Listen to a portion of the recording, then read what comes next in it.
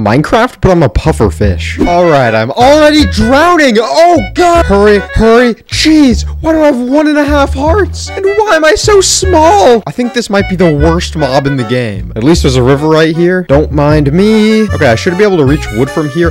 I'm so short. Okay, I can go directly under it. My only goal is to find diamonds. I have no idea how I can do that. Ow! No! Can I even jump?